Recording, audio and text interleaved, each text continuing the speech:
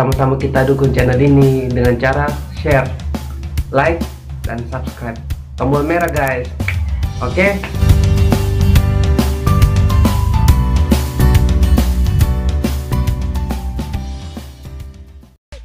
Tema kita adalah Kisah rambut panjang. Sekali lagi, umat Tuhan tidak taat pada Tuhan. Maka Tuhan membiarkan orang Filistin menjajah mereka selama 40 tahun. Lalu Tuhan memilih seseorang bernama Simpson untuk membebaskan bangsanya.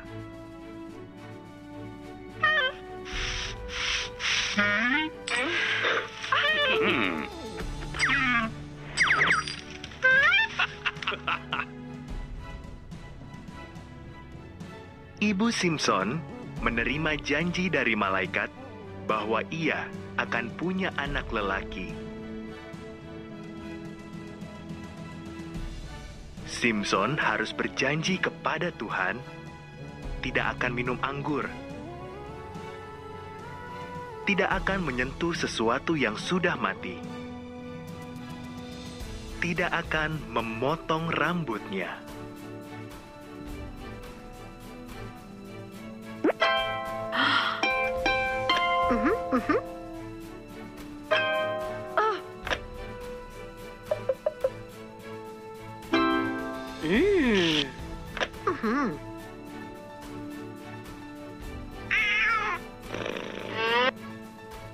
Tuhan menjadikan Simpson sangat kuat.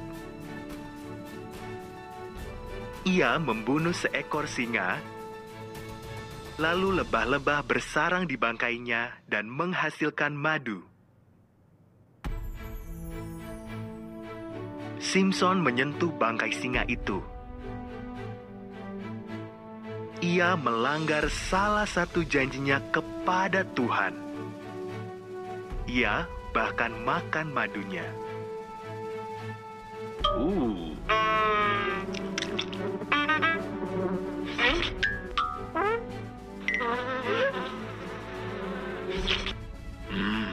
Simpson jatuh cinta pada seorang wanita bernama Delilah. Orang Filistin menjanjikan banyak uang kepada Delilah kalau ia bisa mencari tahu rahasia kekuatan Simpson.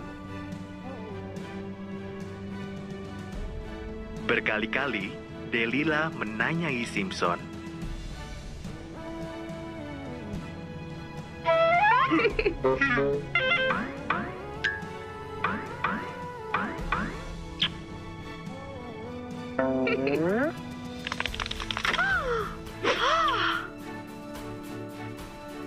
Akhirnya, Simpson memberitahu Delilah rahasianya. Kalau rambutku dipotong, kekuatanku akan hilang.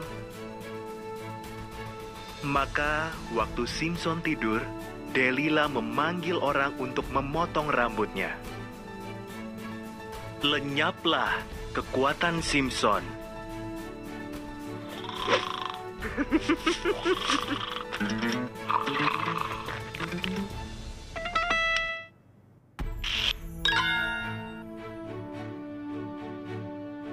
Ketika orang Filistin datang, dengan mudah mereka menangkap Simpson.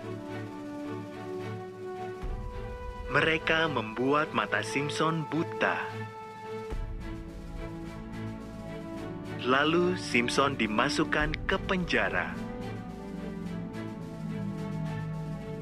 Ia dipaksa bekerja, menyeret batu penggiling yang amat berat.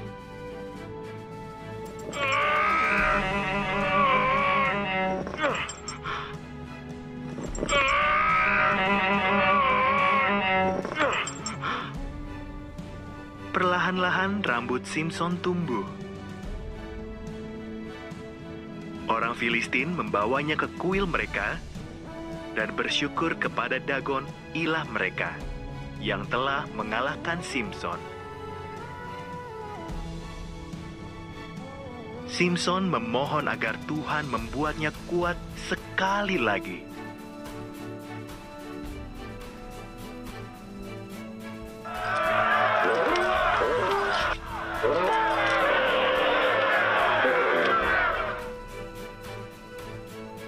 Simpson berdiri di antara dua pilar besar, lalu mendorong kedua pilar itu. Kuil roboh.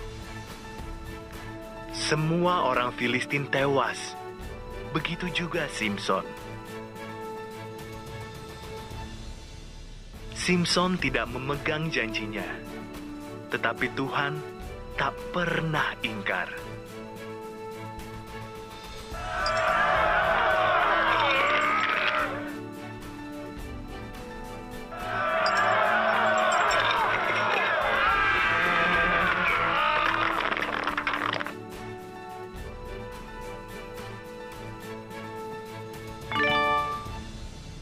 Sama-sama kita dukung channel ini dengan cara share, like, dan subscribe.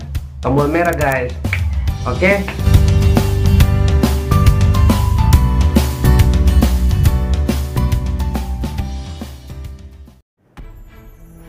A hairy tale. Again, God's people disobeyed him. So God let the Philistines rule over them for 40 years. Then he chose a man named Samson to set them free.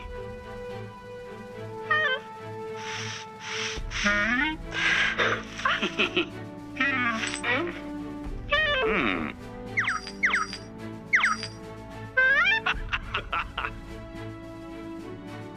An angel promised Samson's mother that she would have a son. Samson would have to make three promises to God never drink wine, never touch dead things, never cut his hair.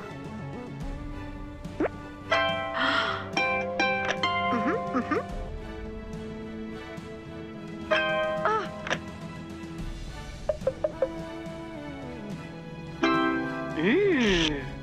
Mm-hmm.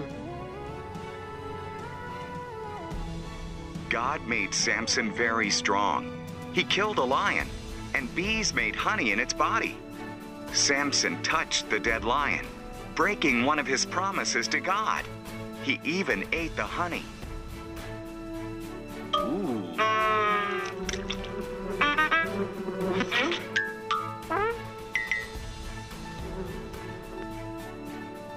Samson fell in love with a woman named Delilah. The Philistines promised her lots of money to discover why Samson was so strong. She asked him again and again.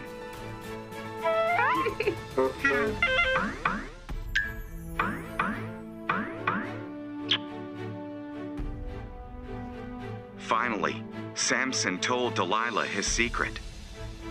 If my hair is cut, my strength will go.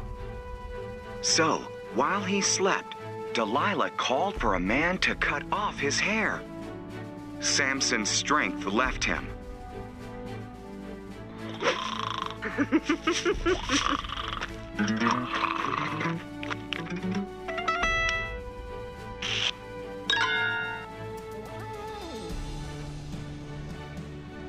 When the Philistines arrived, they captured him easily. They blinded him. Then they put him in prison and set him to work, dragging a heavy grinding stone.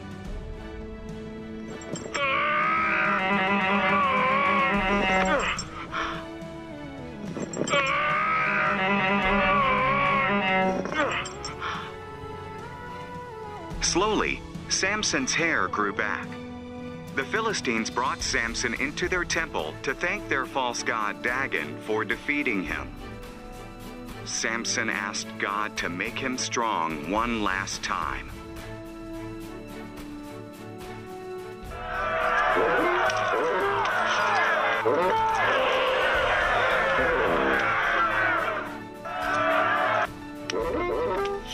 Samson stood between two pillars and pushed on them.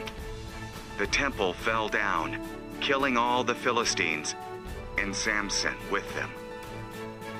Samson didn't keep his promises, but God kept his.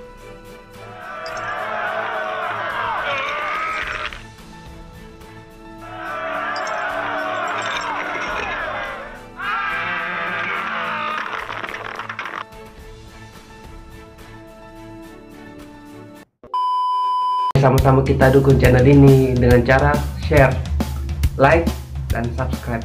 Tombol merah guys. Oke?